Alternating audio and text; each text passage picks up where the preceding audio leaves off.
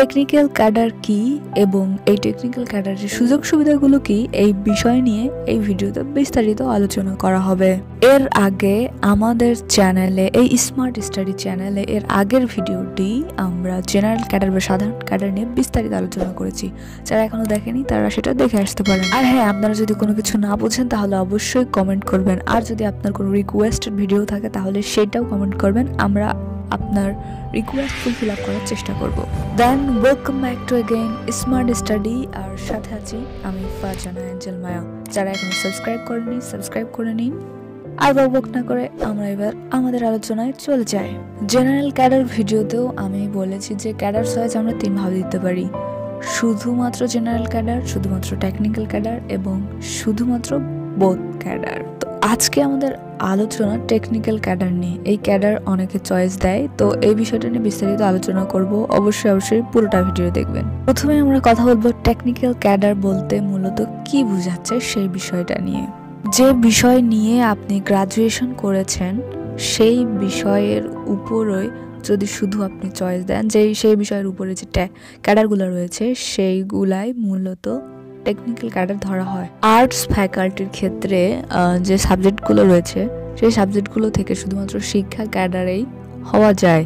Cadre. আর যারা science অথবা commerce রয়েছে, তাদের জন্য অন্যান্য বিষয়, সংশ্লিষ্ট বিষয়গুলো তো রয়েছে, তাদের জন্য একটু বেশি সুযোগ রয়েছে। মানে টেকনিক্যাল ক্যাডারগুলো আরও সাইট রয়েছে, তারা সেখানে টেকনিক্যাল ক্যাডারে যেতে পারবে। হ্যাঁ এখানে আর্টসদের জন্য বেশি সুযোগ নেই, তারা শুধুমাত্র শিক্ষা ক্যাডারে যেতে পারবে টেকনিক্যাল ক্যাডার থেকে। এখন আসি এই টেকনিক্যাল ক্যাডার চয়েস দিলে আপনি কি ধরনের সমস্যায় পড়বেন অথবা কি ধরনের সমস্যায় পড়বেন না, সেই বিষয়টা নিয়ে। এই ক্যাডার চয়েস না দিলে তেমন কোনো সমস্যা নাই। যদি বোধ ক্যাডার দেন তাহলে। কিন্তু এই ক্যাডার দিলে প্রিলি পরীক্ষা তো আপনাকে দুশো মার্কেরই দিতে হবে এবং ভ্যারিয়েশন অবশ্যই আসবে। লিখিত পরীক্ষায় লিখিত পরীক্ষায় এখানে আপনার নয়শো মার্কেটে পরীক্ষা দিতে হবে। তবে সেখানে বাংলা আর বিজ্ঞান বাদ দিয়ে সেখানে আপনি যে বিষয়ে গ্রাজুয়েশন করেছেন সেই বিষয়ে দুশো মার্কের লিখিত পরীক্ষা দিতে হবে। শুধু তাই নয়, ভাইবাতেও আপনাকে আপনার গ্রাজুয়েশন কমপ্লিট করার বিষয় থেকে কোশ্চেন করা হবে। আর তাছাড়া এদিক থেকে তো একটু টুকটাক কোশ্চেন করবেই।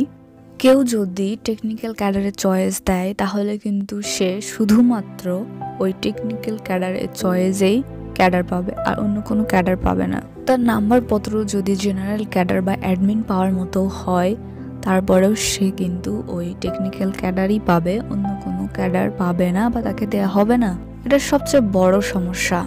তিন ক্যাটাগরির যে কোনো এক বিষয়ে আপনি চয়েস দেন না কেন, সেটা আপনার ব্যক্তিগত চয়েস হবে।